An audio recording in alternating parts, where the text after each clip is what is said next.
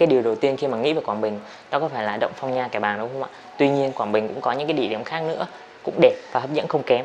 Trong cái video ngày hôm nay thì mình sẽ chia sẻ tất tần tật những cái trải nghiệm của tụi mình có được trong cái tour Tú Làm một ngày được thực hiện bởi Osalit.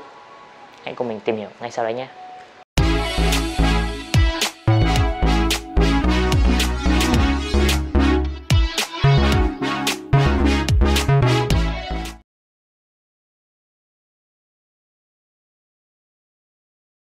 Tụi mình được xe của Osalit đón tại homestay lúc 7 giờ 20 sáng.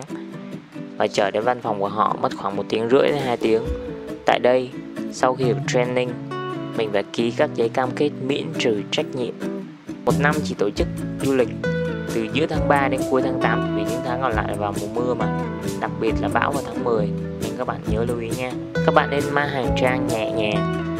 Nếu có máy ảnh và ống kính cỡ lớn ạ thì nhớ báo trước với bên ban tổ chức các dụng cụ tụi mình được trang bị bao gồm nón bảo hộ sẽ được phát khi đi vào hang đầu tiên, mũ khá xịn và mới, đèn chiếu sáng rõ, dễ sử dụng.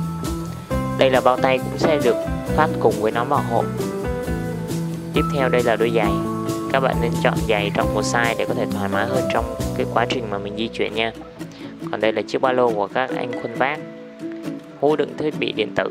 Mỗi người sẽ được một bình nước riêng, nếu uống hết sẽ được bơm thêm. Mình có chụp trộm được một vài khoảnh khắc hai anh khuân vác đồ trong suốt cái quá trình cho tụi mình như là đồ ăn, nước uống. Khá nặng và mệt đó mọi người ha. Đầu tiên tụi mình phải đi bộ một quãng đường khá nắng, từ 2 đến 3 km nên các bạn tự chuẩn bị nón và khăn trùm đầu nha.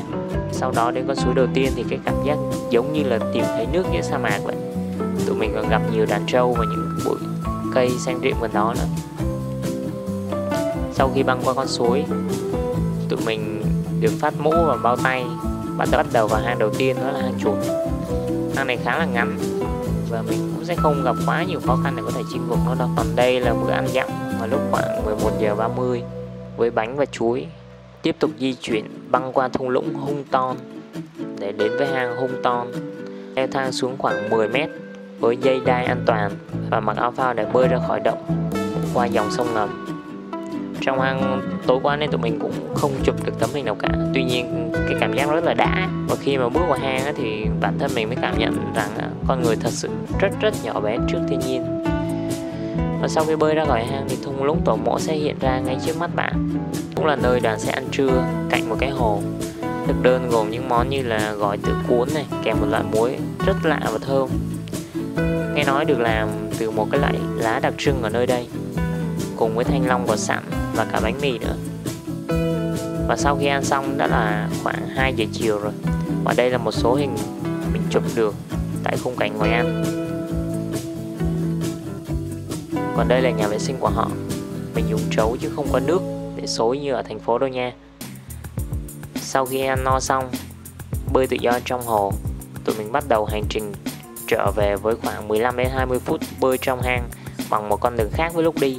Khá mệt đối với những các bạn đã chưa quen. Sau khi bơi ra khỏi hang thì tụi mình trở lại cái khung đường giống như lúc đi ấy mọi người. Hành trình kết thúc tại con suối có nhiều trâu mình đã nói ngay từ đầu. Với xe được đưa đón ngược trở về văn phòng Osalit. Sau khi tắm rửa sạch sẽ ở đây, xe sẽ trả mọi người về homestay cùng với lời chào thân ái và hẹn gặp lại.